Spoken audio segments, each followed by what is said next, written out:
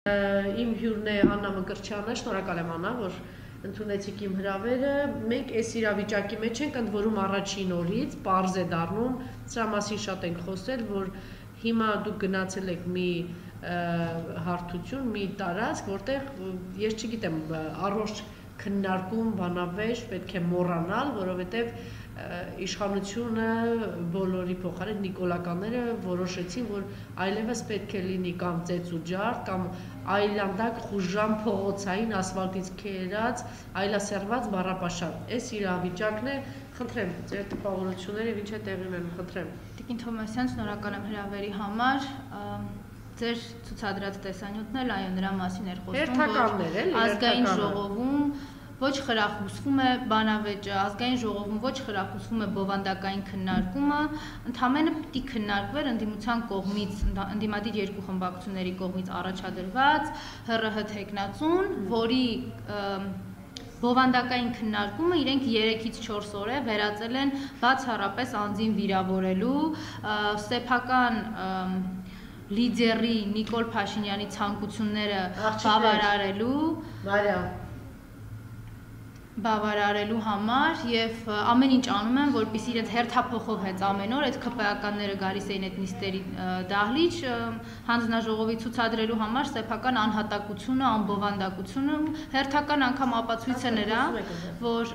իրենց ոչինչ պետք չէ որևէ ինստիտուցիոնալ քննարկում կամ բնականոն ինստիտուտի աշխատանք իրենց համար անհրաժեշտ չէ։ Իրենք ազգային ժողով են եկել ընդամենը Նիկոլ Փաշինյանի համար ուսապարկ աշխատելու, Նիկոլ Փաշինյանի ցանկությունները իրականացնելու եւ գիտեք, միայն այս քննարկումը չէ, նախորդ ազգային նախորդ շաբաթ ազգային ժողովում նաեւ մարդու իրավունքների պաշտպանի տեխնատություններ քննարկվում, այդքան անհանդուրժողականություն, այդքան կամահրանք, ինչքան որ կար մարդու իրավունքների պաշտպանի տեխնացուի պատասխանների մեջ դեպի ընդդիմության հարցերը, խոսում էր նրա մասին, որ այդ մարդը մանդատ է ստացել Նիկոլի իշխանության պաշտպանը լինելու համար, որովհետև իրեն ներկայացնում ենք բազմաթիվ փաստագրված հանգամանքներ, իսկ հիմա Հայաստանի Հանրապետությունում մեկը չկա, որ չգիտի, որ Նիկոլ Փաշինյանը իր լայվով դատարանները շրջափակելու հրահանգատվ է, չգիտի, որ Նիկոլ Փաշինյանը իր լայվով տարիներ առաջ ազգային ժողովը շրջափակելու հրահանգատվել են падգամավորները, որ հիմա վերընկած են այդ իշխանական աթոռներին, իրենց Facebook-յան էջերում հրապարակում էին հանրապետական падգամավորների հերախոսահամարներ, իրենց երեխաների դպրոցների մոտ էին գնում, ահաբեկում էին նրանց, այս ամեն ինչի մեջ հարցնում ենք արդյոք սա օրինական է եւ իրավական, անգամ չեմ հարցնում դա մարդկանց վերաբերյալ գնահատական, ասում օրինական է, դուք մասնագետ եք, անդադ շեշտադրում եք, որ միայն մասնագիտական աշխատանք եք կատարել կառավարություն։ Կարելի է թե ոչ, այս մարդը խուսափում է։ Ակնհայտ է, որ իրեն Նիկոլ Փաշինյանը միայն այդ գործիքակազմն է տվել, չլսելու, չտեսնելու եւ ոչինչ չարձանագրելու եւ ոչինչի չարձագանքելու համար։ Սա այն ազգային ժողովն է ցավոք, որ մենք հիմա ունենք, որովհետև Նիկոլ Փաշինյանի կողմից զավթված ցանկացած պետական ինստիտուտ չի կարող ունենալ բնականon աշխատանք, ինչպես օրինակ նույն կառավարությունն է, որտեղ կա մի հատ նախարար, ով պատասխանատու է իբր տնտեսական աճի համար, ու այդ տնտեսական աճը այդ մարդը բնորոշում է Հայաստանում արկա խցանումների հանգամանքով։ Հետո էլ ասում է, գիտեք ինչ կատակ եմ արել, որ ասել եմ տնտեսական աճ կա Փաստորեն այս մարդիկ, չգիտեմ, նոր պատերազմ, նոր տարածքների, տնտեսական աճը կատակ անելու Ճիշտ էր ասում, նոր պատերազմ, նոր տարածքներ, նոր պատերազմ, այսինքն Հայաստանի տարածքները տալ։ Իրականում ճիշտ էր ասում։ Այս մարդիկ կամ կատակ են անում, բան թշնամու կողմից են, Պետք է ճշնամին նոր տարածք ունենա մեր հաշվին, մենք ենք սխալը կարել։ Հիմա նույնը տնտեսական հիմա նույնը տնտեսական աճն է եւ Հայաստանի Հանրապետությունում օրեցօր վատ տարածող սոցիալական վիճակը Նիկոլ Փաշինյանը որ գալիս էր իշխանության ասում էր լույս, ջուր, գազ, բոլոր հանրային ծառայությունները մի 10 տարի չեն թանկանալու։ Հիմա բոլորը թանկացրել է, ասում է գիտեք ինչ, դե սրանից հետո 10 տարի հետո չի թանկանա։ Հիմա չգիտեմ, մի 2 տարի հետո էլ կթանկացնի, կասի հիմա էլ թանկացրեցինք, որ հաջորդ 10 տարին չթանկանա։ Ինչ են անում այս մարդիկ։ Ցանկացած ինֆորմացիա, որը ուղղակիորեն պիտի արտնացնի հասարակության օբյեկտիվ զայրույթը եւ սրանց իշխանությունից քշելու ցանկությունը իրենք ինչ են անում կոտրում են այդ ինֆորմացիան լցնելով կեղծիքով սկզբից իրենք իրենց համար տարածում են որ գիտեք ինչ ոչ մի թանկացում չի չի լինելու հանրային ծառայության ոչ մի ոլորտում թանկացում չի լինելու սկսում են իրենք իրենց քննարկել հետո երբ པարզ է դառնում որ արդեն ներկայացվել են հայտերը եւ շուտով քննարկում է տեղի ունենալու եւ ամենայն հավանականությամբ նաեւ հաստատումներ են տեղի ունենալու իրենք նորից սկսում են հերքել նման բան չկա նման բան չկա հետո արդեն հայտը հաստատվում հիմա թանկանումը սկսում են ասել մենակ հարուստների համար է թանկանալու, չես հասկանում ինչ տրամաբանության մեջ, որովհետև հարուստի համար տարբերություն չկա 50 դրամա թե 60 դրամա։ Դա հենց սովորական Հայաստանի Հանրապետության շարքային քաղաքացիների համար է տարբերությունը տալու։ Այնքան են խափում, ջարդում այդ ինֆորմացիան, վերջում բոլորի համար թանկանում է, արդեն ոչ ինֆորմացիա կա, ոչ էմոցիա կա, ոչ զայրույթ կա, իրենք այդպես շարունակում են ամեն ինչ անել։ Այս նույն տրամաբանության մեջ նաև գործում են ոչ միայն սոցիալ-տնտեսական ոլորտում, այլ նաև գործում են ներքաղաքական, նաև Հայաստանի շուրջ տեղի ունեցող արտաքին քաղաքական մարտահրավերները մատուցելուց։ Ինչ էին մեզ ասում, ասում էին 2020-ի նոյեմբերի 9-ից մի 2-3 օր առաջ սկսեցին դիսկուրսը հենց իրենք իրենց ֆեյքային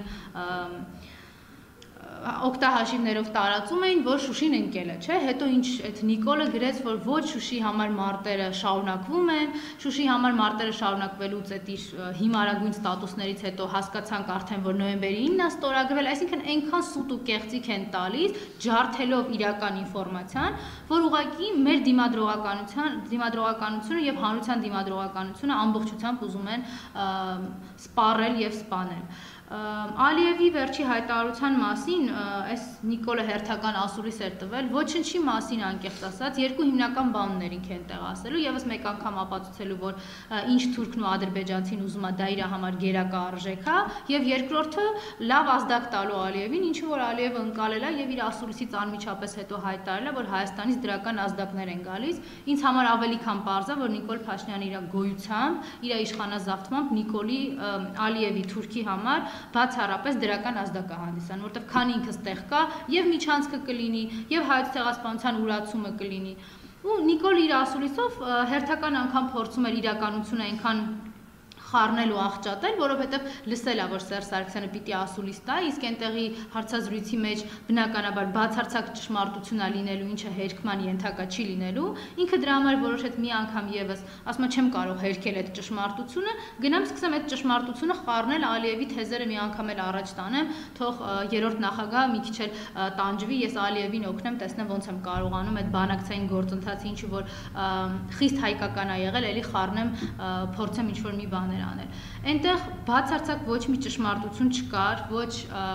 Արցախի տեղի ունեցած բանակցությունների մասին, այնտեղ եւս մի անգամ ինքը շեշտում էր, որ իր համար այլևս Արցախ գոյություն չունի, ինքը փոխարենը դառնար կողմ բանակցությունների Արցախի կարգավիճակի հետ կապված, ինքը դարձել է երրորդ կողմ, որտեղ ընդամենը Թուրքի շահերը պաշտպանելով շարունակում է առաջ գնալ, որտեղ ինքը այնտեղ չի եղել երբեք Հայաստանի ու Արցախի ներկայացուցիչը, նորից եմ կրկնում, ինքը այնտեղ եղել է մարդ, ով որ կարող էր մաքսիմում կրկնել Ալիևի թեզերը իրենից ստացած պատմական եւ բանակցային գործընթացի պատմության ժառանգության վերաբերյալ։ Եվս մեկ անգամ ինքը հաստատեց այն հանգամանքը, որ ինքը ուրացել է հայոց ցեղասպանության ճանաչումը եւ այն հայտարարությունը, որ տեղի ունեցավ հարց ու պատասխանի ժամանակ, ինքը անգամ չմոտեցավ խոսելու հայոց ցեղասպանության մասին եւ այն մարդուն օմեգայինում ուղարկել էր, որպիսի խոսի հայոց ցեղասպանության մասին, անգամ խուսափեց դրա մասին հիշատակումից ուղղորդում են անդադ գնալ եւ կարդալ իրենց կառավարության ծրագիրը։ Լավ է չուղղորդեին, որովհետեւ գնացել ու կարդացել եմ, այնտեղ գրված է 4 նախադասություն, 4 նախադասությունից որևէ մեկի մեջ չկա հիշատակում այն վարչակարգերի մասին, ովքեր իրականացրել են հայոց ցեղասպանությունը, ոչ Օսմանյան կայսրության, ոչ իրավահաջորդության տեսանկյունից Թուրքիայի հետ կապված, եւ այդ 4 նախադասությունից վերջին երկու նախադասությունը նրա մասին է, որ հայոց ցեղասպանության ճանաչումը չի կարող լարվածություն առաջացնել տարածաշրջանում։ Այսինքն ինչ են ասում, ասում են Թուրք ջան, եթե դու լարվում ես այս թեմայից, մենք այս թեման էլ կփակենք, խնդիր չէ, այսինքն կառավարության ծրագրում գրված է այն հանգամանքը, որ եթե Թուրքիան լարվում է հայոց պահանջատիրությունից, ուրեմն այդ հայոց պահանջատիրությունը տեղի չի ունենա, չի լինի ուղղակի իրենց օրակարգում։ Նիկոլ Փաշինյանը ոչ մի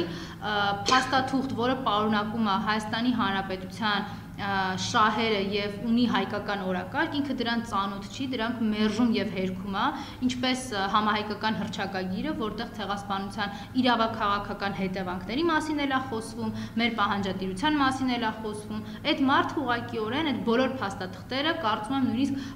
իր սեղանին մոտ չի թողնում, որpիսի հանգարց ջղագրգիռ վիճակում չհայտնվի, հանգարց չնյարդայնանա, հիշի, որ դա թուրքերի համար այդքան էլ հաճելի օրակարգ չի։ Այս են իրականությունն է, որի մեջ մենք ապրում ենք, որտեղ իրենք մեզ parberabar տալիս են նոր խնդիրներ եւ այդ խնդիրների մեջ ամեն անգամ երբ մենք փորձում ենք պատճառը հետևանքային կապը հասկանալ, այդ պատճառը հետևանքային կապը տանում է այն զավթված իշխանությունը եւ Նիկոլի կողմից պահվող իշխանությունը, որը հիմա Հայաստանի Հանրապետությունում գոյություն ունի։ Վերջին իրադարձությունը նաեւ Արմեն Սարգսյանի մասով ես չեմ կարող ասել, որ այդպես ողջևորված իր գործունեությանը հետևում ենք, եթե հրաժարական չտար, կարծում շատերը Հայաստանի Հանրապետությունից անգամ չէին հիշի, որ նման աշխատող կա, նման բարձրաստիճան պաշտոնյա կա, բայց մարդը որքան պիտի չսիրի սեփական պետությունը, որ նույնիսկ իր հրաժարականի տեքստը լինի ծառայություն Նիկոլին եւ այս դժվարին ժամանակամիջոցում Հայաստանի Հանրապետության շուրջ տեղի ունեցող իրավիճակում Հայաստանի խախտված տարածքային ամբողջականությամբ եւ ինքնիշխանության պայմաններում խոսի Նիկոլին եւ Թուրքին ձեռնտու սահմանադրական փոփոխությունների մասին։ Այսինքն Ալիևը եւ Թուրքիան այնտեղից ասել են, որ Հայաստանը իր հարաբերությունները մեր հետ կարգավորելու համար պիտի սահմանադրություն փոխի։ Այս անհայրենիք Նիկոլը ստեղծել է սահմանադրական փոփոխություններ իրականացնող հանձնաժողով ու հրաժարական տվող Արմեն Սարգսյանը ասում է, որ ճիշտ է կարել, լավ է կարել այդ սահմանադրական փոփոխությունները նախաձեռնել եք։ Սա իհարկե խայտարակություն է։ Ես հասկանում եմ, որ Արմեն Սարգսյանը երբ ընդունում էր Սերժ Սարգսյանի հրավերը աշխատելու եւ ընտրվելու Հայաստանի Հանրապետության նախագահի պաշտոնում ինքը հույս ուներ, ինչպես եւ շատերը, որ Սերժ Սարգսյանը աշխատելու է Սերժ Սարգսյանը գրելու է քաղաքական դիվանագիտական հարվածները, իսկ ինքը վայելելու է իր պաշտոնը, կարգավիճակը եւ հարգանքը։ Ես հասկանում եմ, որ դա չստացվեց, բայց